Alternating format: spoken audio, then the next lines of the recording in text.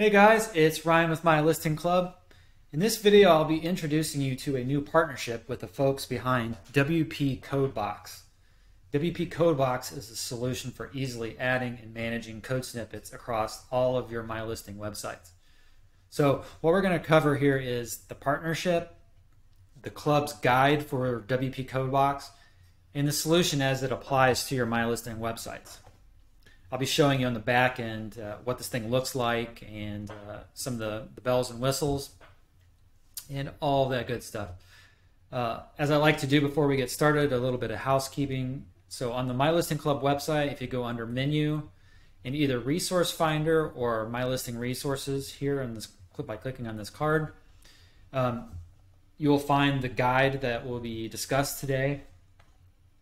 And uh, we'll go ahead and click on Resource Finder and then content and just do a search for WP code. And this, if we were to click on this first link here, that is the partnership itself. And um, if you are a, a, member of the club, paying member of the club, you'll see the discount information is unlocked. Uh, the team behind WP Codebox was generous enough to give us a 25% off discount for the community.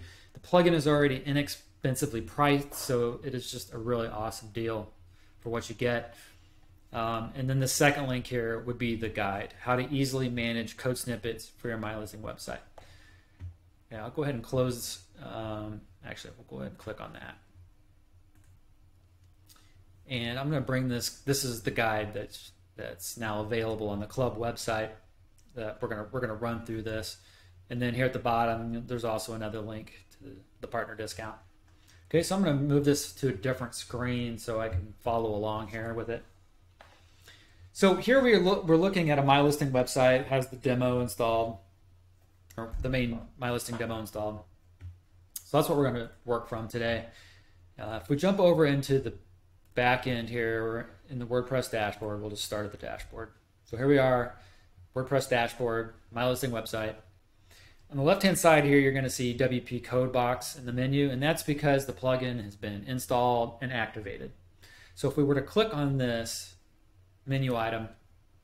As we discussed in the guide, one of the first things we like to do personally is click on the settings icon at the top, tick this box here, and what this does is it's going to move WP Codebox from being its own WordPress menu item. It's going to move it under the WordPress tools menu item. It's just a way to clean up the WordPress dashboard. You know, it can get super cluttered depending on how many plugins you have installed and which plugins you have installed. So it's just a nice way to, to tidy things up or keep things tidy. Okay, we're to check that box and we're to click Save. And then after we do that, we'll just refresh the page. And that conveniently just keeps us right there in WP Codebox. So really nice of them to do that. Okay, so we've covered the setup. And the next thing we want to do is just go over adding a code snippet. And uh, we're to do a, an actual code snippet here for another purpose. So let's go ahead and we'll just put uh, a title in here, test, and optionally put a description, but I highly recommend you put a description in every time unless it's just super blatantly obvious what this snippet does because as you go along and further down the road you, you may forget or especially if you're going to share this with your clients your customers or just somebody else um, you want them to be able to see the description and easily know what this is. Another benefit to using the description is you don't necessarily then need to add a comment into your actual code, which will add weight to the code, uh, to the file. So just something to keep in mind there. Just try to keep, I recommend just always erring on the side of adding a nice description in there. Okay, so we're going to change this particular snippet to CSS. So you can see here, you can choose from these options. We're going to just go with CSS here. The priority, you can almost always leave this as a default. The lower the priority, the higher priority it's given, if that makes any sense at all. Um, you rarely have to change this. Like I said, if you find that a script is not running for whatever reason, lower the priority and and then test it that way. And uh, some cases you may have to do that. I've never personally had to do that, but uh, you know, every website's different. Uh, for CSS, you're going to want it script location to run in the header, so that's fine as the default. And we're going to talk about this CSS dev mode here in a short bit. Um, CSS is just default. Actually, grays this out. You're always going to want it to run on page load. And for CSS, you can run it in the front end, or you can apply that CSS to the back end, or both. Or we're also going to talk about this here soon, is this custom option. So for this particular uh, case, we're just going to choose the front end.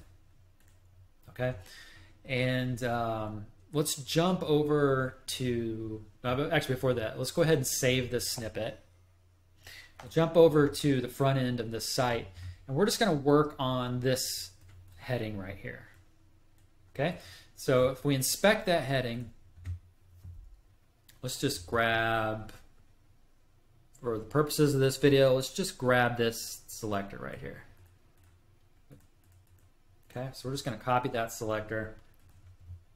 We're going to jump back into WP Codebox. We're going to drop that selector in. We're going to put our brackets in. And we're going to say color red. All right, and we're going to just save this snippet and we're going to enable it. And then we're going to refresh this page.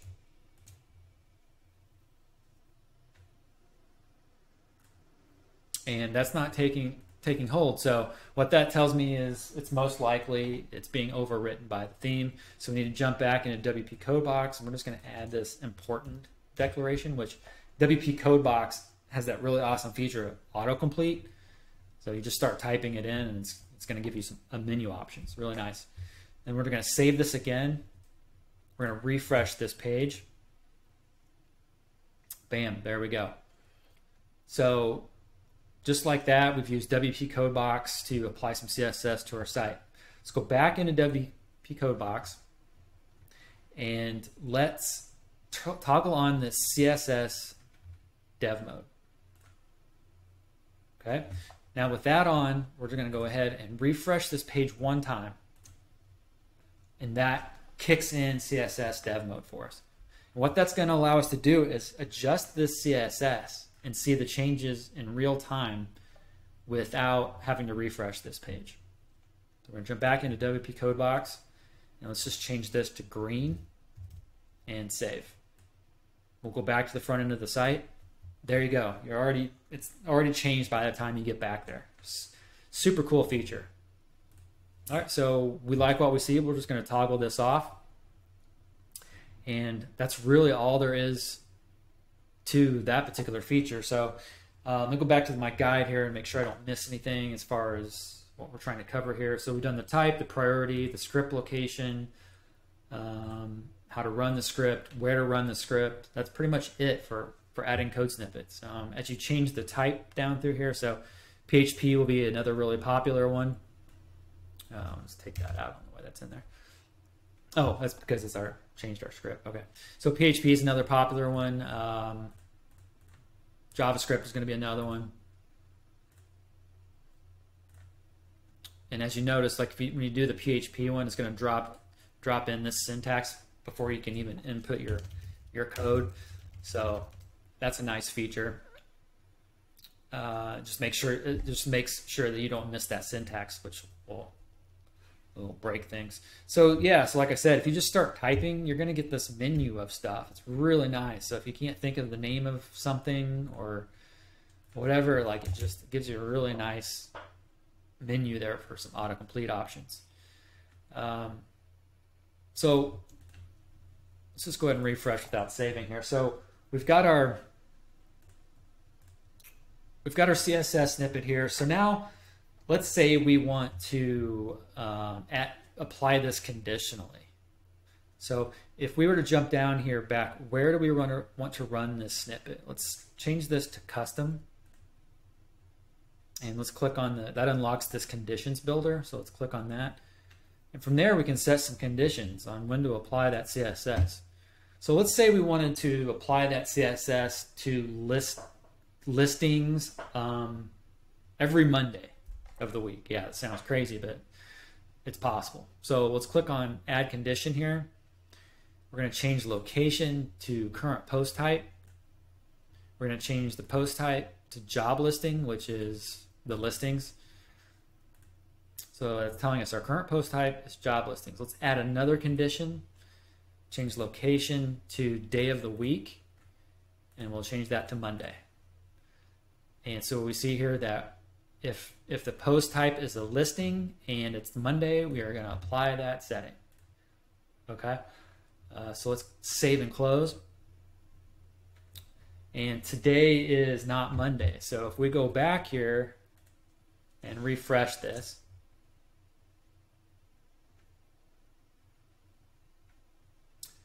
Oh, it's not a listing. Okay, that's my bad. Okay, so it's so it's not a valid test really. Uh, we could um, uh, here we could just change this. Let's edit the conditions builder. Let's change it from just it's a page. So this by doing this, it's saying any page, and if it's a Monday, let's apply this CSS.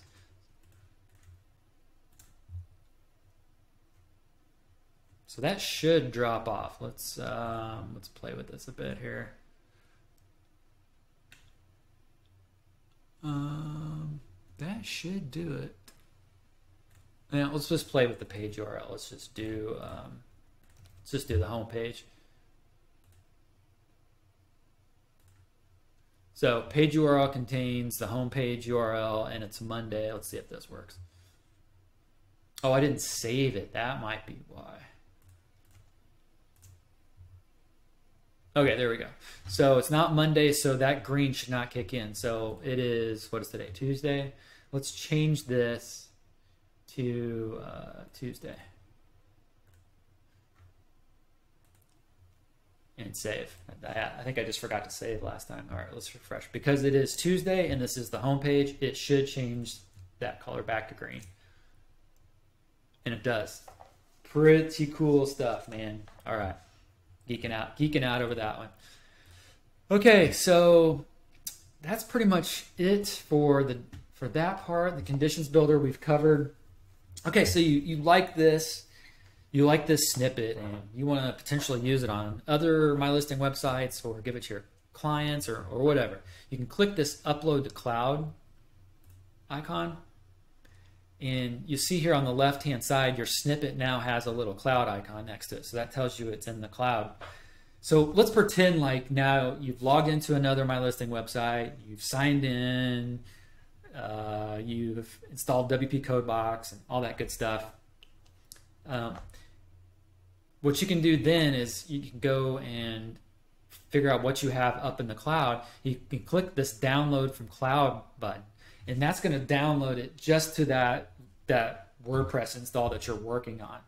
So I know hypothetically saying, let's say that you pre-configured some code snippets for a particular client, and then you uploaded it to your cloud account, and then now you are logged into the client's website, and you just want to download those snippets to their local WordPress install, and uh, you know get it out of your own cloud um, account or whatever that's that's that's that's one that's one scenario where that would be really cool. Okay. So let's see. Let's go back to the guide here. We covered cloud storage. Okay, this this one is really super cool. Okay, so you can see here um, cloud snippets is already populated. So this is the club's account that you're working with, and you see all these snippets, but it's in the cloud. So how did how did they get there? Well, there's this repository icon right here. If we click on that, you'll see that WP Codebox comes with a, a large repository of snippets that have either came from WP Codebox themselves or contributors like me, the My Listing Club, have contributed. So lots of things you can choose from here and just uh, you just if you select it and then it's going to give you the code and you can download it right to your account and then upload it into your cloud account. Okay, so really cool feature here though is that as part of this partnership, we've uploaded a bunch of snippets that are just related to my listing. We'll be uploading some others that are, you know, to help contribute for WooCommerce and whatnot. But if you click here on my listing, you'll see a bunch of snippets in here. And these are also on the club website, but uh, you're, going to see some that you um, that are very you're familiar with. But open listings in a new browser tab. There you go. Just grab it, copy it, download it, whatever you want to do. Uh, just really cool stuff. And like I said, we'll be adding some more snippets to here to contribute. Um, so really cool. So yeah, so earlier I showed you if like if you just wanted to to download a snippet to this particular install. So here we have the cloud snippets on the left hand side here. So let's just say we wanted to pull down this uh, this combine WooCommerce combine endpoints. So you just click this little download icon and there it goes. Now you see that it dropped down to this local station. Yeah, just really cool stuff. And then another feature, you can click on this generate box right here, and that's going to help you create, uh, generate a shortcut, a shortcode, a custom shortcode. It's be that's outside of this video and this guide for now, um, but it will be explored and then added to the guide here shortly. Um, and, but as you see here, like coming soon, custom post type generator and hook action generator, very exciting stuff. Um, what else? What else? You can add folders in here. So my listing, let's just say you work on multiple themes. So um, hit enter there. So there's your my listing folder. If you work in Astra, for example, the Astra theme, uh, click a new folder, Astra. So then you can consolidate and kind of move stuff around. So, you know, it's just really cool stuff. Um, okay, I think that's about it. Um, let me check check my guide one more time. So we've covered the setup, the adding of the code snippets, CSS dev mode, the conditions builder, cloud storage, the repository, and then the discount. So that's pretty much it, guys. I uh, hope you enjoyed this video. I hope you enjoyed this plugin and this partnership and the deal. And uh, take care. See you on the other side. See ya.